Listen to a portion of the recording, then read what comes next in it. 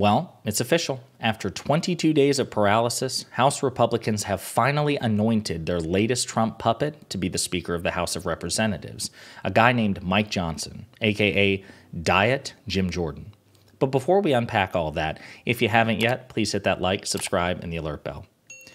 Okay, sad day for American democracy, but I guess it's a good day for Republicans because they finally have a speaker. Mike Johnson, a congressman from Louisiana, and he managed to get the job in one round of voting. Kevin McCarthy didn't pull it off. Jim Jordan didn't pull it off.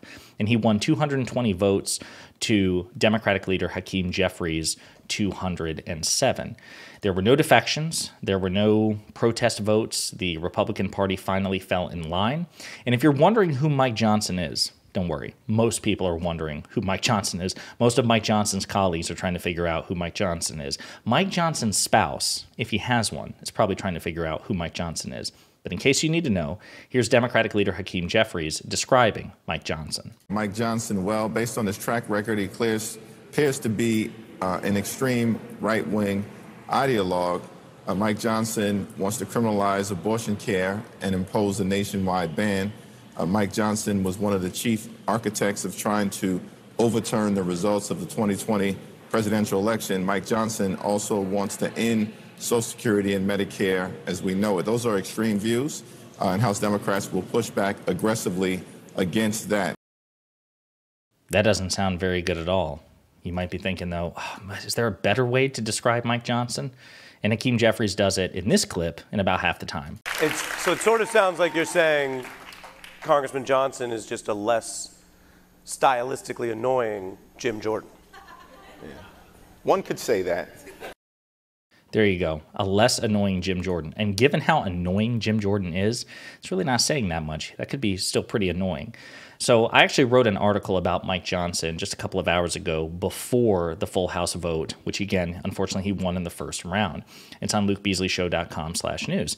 Then the title is The GOP's new speaker candidate is basically Diet Jim Jordan. And if you look at some of Mike Johnson's quote unquote greatest hits, you would see that to be the case. So Mike Johnson is an election denier. He organized a comprehensive amicus brief. See if I can pull this up real quick.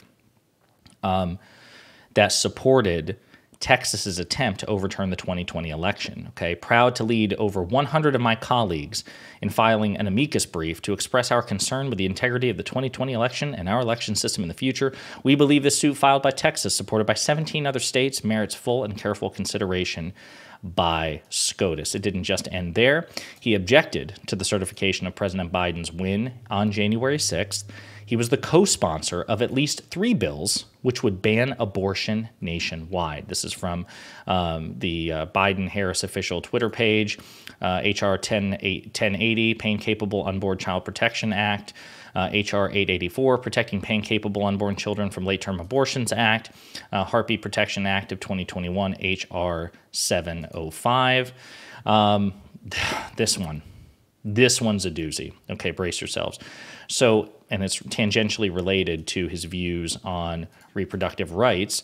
Um, but he basically blames women exercising their right to reproductive health care for the reason that Republicans have to cut Social Security and Medicare. And if you think that's deranged, just hear it straight from his mouth. Roe v. Wade gave constitutional cover to the elective killing of unborn children in America, period. You think about the implications of that on the economy, we're all struggling here to, to cover the bases of Social Security and Medicare and Medicaid and all the rest. If we had all those able-bodied workers in the economy, we wouldn't be going upside down and toppling over like this. Listen, the gentleman I will not yield. I will not.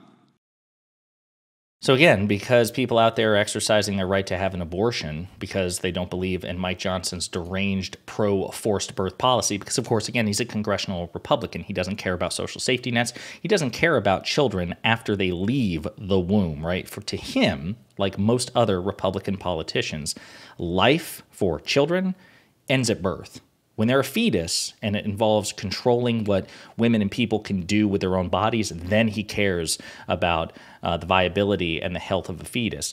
When the fetus leaves the birth canal and actually becomes a child, becomes a baby, he couldn't care less. Um, and then this one's one that you may not remember, but Jon Stewart had to publicly shame Mike uh, Johnson in 2019 when Jon Stewart gave his iconic viral speech in front of Congress about uh, long term health care for 9 11 first responders. Point earlier, and it was one that we have. Mr. Johnson, you, you, you, made a point earlier, and it was one that we have heard over and over again in these halls, and I, I, I couldn't help but to answer to it, which was, you said, look, you know, you guys are obviously heroes, and 9-11 was a big deal, but, you know, we have a lot of stuff here to do. And, uh, you know, we got to make sure there's money for a variety of uh, uh, disasters, hurricanes and tornadoes. But this wasn't a hurricane.